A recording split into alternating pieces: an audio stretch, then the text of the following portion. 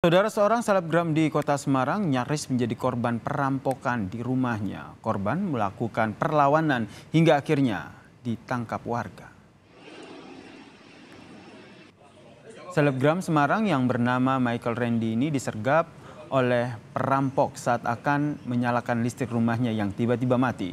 Karena terkejut, korban berusaha melawan para perampok ini, saudara. Istri korban yang mengetahui kejadian ini langsung berteriak meminta tolong.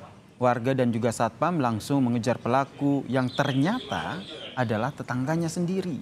Memang sengaja lihat dulu dia teriak kenceng. Nah terus mulai itu ada warga yang datang. SCB saya cetekan, nyalain toh, itu lampunya jebret. Dari belakang saya langsung gini. Ini pisau udah di sini nih. Pisau dari sini dia nyekap gini saya.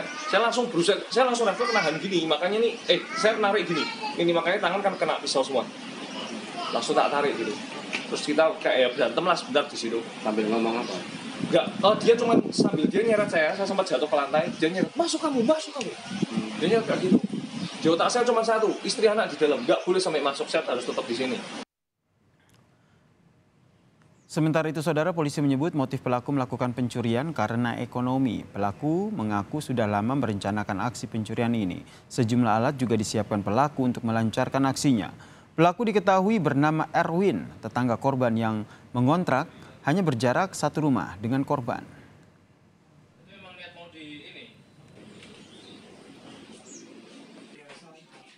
Sementara motifnya eh, pemeriksaan awal ekonomi. Selanjutnya untuk pemeriksaan saat ini dilakukan oleh Polsek Tugu, namun dari Polres akan e, melakukan backup.